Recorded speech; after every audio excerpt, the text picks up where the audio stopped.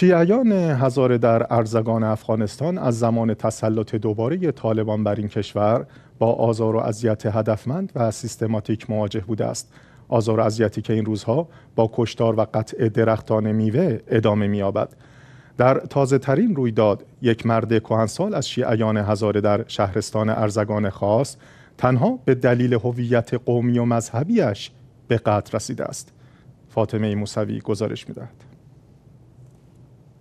در ادامه خشونت های زنجیری در منطقه جوینو ارزگان خاص ظهر روز جمعه 27 مرداد یک پیرمرد از شیعیان هزاره در جلوی خانهاش توسط افراد مسلح به شهادت رسیده است. بر اساس گزارش منابع محلی، حاجی بستان هنگامی به شهادت رسیده که در حال وضوع گرفتن و آماده شدن برای نماز ظهر بوده است.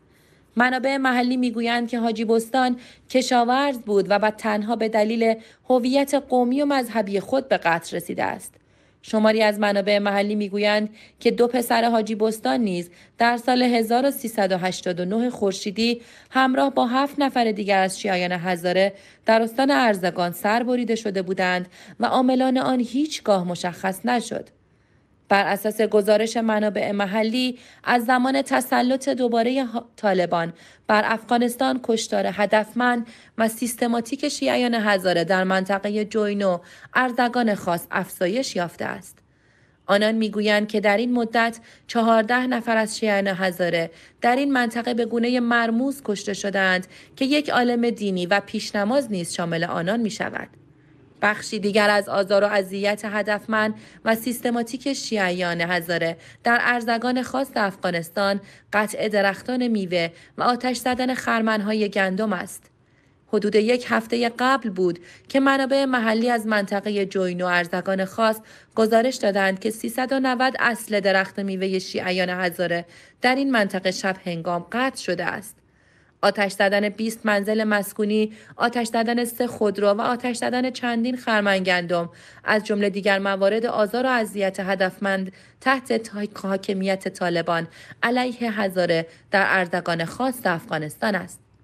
علاوه بر این ساکنان محلی از قارت گسترده اموال خود نیز شکایت کردند و می‌گویند که حتی در مواردی حیوانات اهلی از این منطقه در روز روشن دزدیده می شود.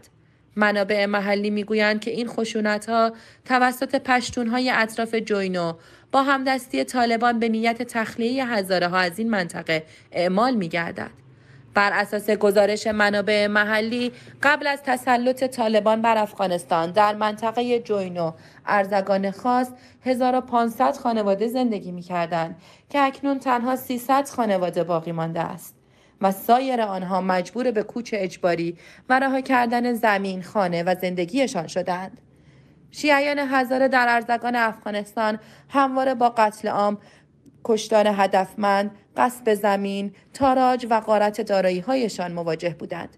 در 15 سپتامبر سال 1893 میلادی سپاه عبدالرحمن پادشاه سابق افغانستان مرکز مقاومت شیعیان هزاره در ارزگان را تصرف کردند و اقدام به قتل عام آنان نمودند. بر اساس اسناد تاریخی عبدالرحمن خان در این روز فتوای نسل کشی و تکفیر شیعیان هزاره در ارزگان را صادر کرد و به دستور او 62 درصد از جمعیت شیعیان هزاره در سراسر افغانستان قتل عام شدند. شیعیان هزاره اکنون همه ساله از 25 سپتامبر به نام روز قتل عام هزاره ها توسط عبدالرحمن یاد بود به عمل می آورند و از تداوم نسل کشی هزاره ها هشدار می دهند. سال گذشته خورشیدی در همین روزها حمله خونین بر مرکز آموزشی کاج در غرب کابل باعث اعتراضات گسترده شیعیان هزاره شد. معترضان در سراسر سر جهان این حملات را تداوم نسل کشی هزاره ها دانستند و از سازمان ملل متحد و جامعه جهانی خواستار به رسمیت شناختن آنان هستند. فاطمه سادات موسوی اخبار شیعه